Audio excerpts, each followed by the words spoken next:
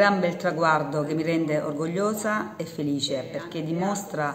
quando c'è una bella collaborazione tra amministrazione, volontariato, associazione, chiesa che porta questa grande sinergia sempre ad ottimi risultati. E noi affiancheremo sempre quando ci sono eventi come questi perché mirano al bene comune. Infatti diciamo, l'obiettivo e la finalità di questo progetto della Casa della Befana è ben preciso, che è quello di recuperare una tradizione tutta italiana e soprattutto condividere con tutti i bambini questa giornata, una giornata che poi crea un ponte d'amore tra bambini e anziani, cosa che nell'ultimo periodo purtroppo si sta perdendo. Inoltre è un progetto che mira soprattutto sulla solidarietà Solidarietà infatti eh, vogliamo aiutare le famiglie in difficoltà a far trascorrere ai loro bambini una giornata all'insegna dello svago, della spensieratezza. E poi è un progetto che è bellissimo perché è un bene comune di condivisione,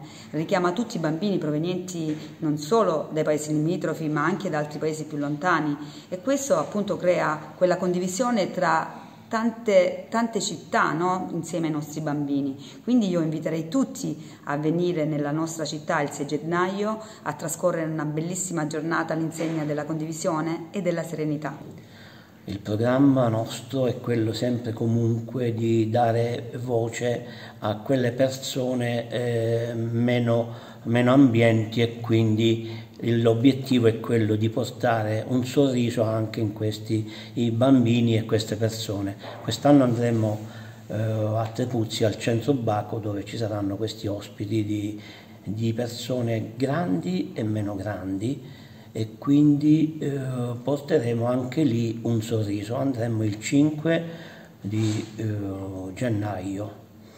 Poi eh, la cosa importante, mi sento mh, mm, orgogliosamente eh, che quest'anno ospitiamo un grande artista di fama uh, internazionale come Antonio Maggio, vincitore del, del 2013 come Sanremo Giovani. E nel 2020 ha cantato uh, insieme mh, mm, ad una cantante, ad una cantante sì, molto importante, importante, vittima di femminicidio. Ah. Anche questo è un punto che noi ci teniamo molto. Don Giuseppe, la vera Befana abita a Monteroni perché dopo siete stati imitati.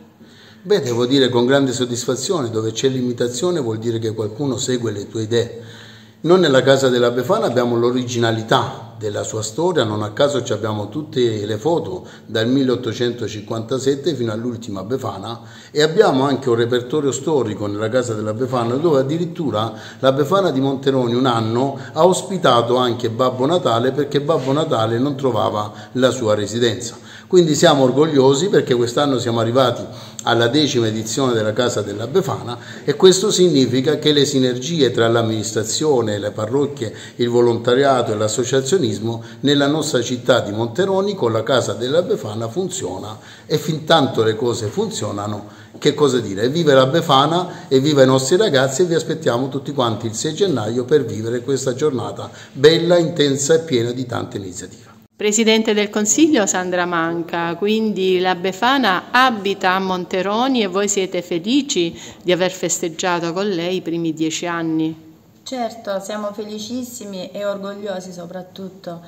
Eh, chi di noi non ha sognato il 5 gennaio mettendo la calzina sotto al camino aspettando le caramelle e possibilmente non il carbone no? la mattina del 6 quindi invito tutti a partecipare a questo bellissimo evento che ci riporta indietro e che fa vivere alle nuove generazioni anche la leggenda della Befana, della vecchietta che arriva con la sua scopa a fare doni a tutti coloro che vogliono accoglierla. Come la settimana enigmistica, la Befana di Monteroni vede tantissime imitazioni, ma ma la vera Befana è a Monteroni, la vera casa della Befana è proprio in via Oronza Epifani, Monteroni ce l'abbiamo, è una via riconosciuta, è una via in cui abita la vera Befana.